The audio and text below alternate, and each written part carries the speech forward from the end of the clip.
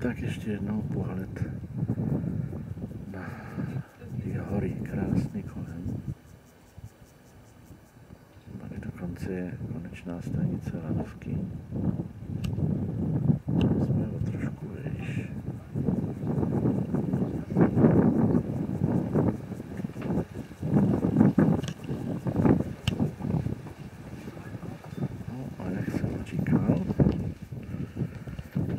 Dovolili teda si dát malé občerstvení.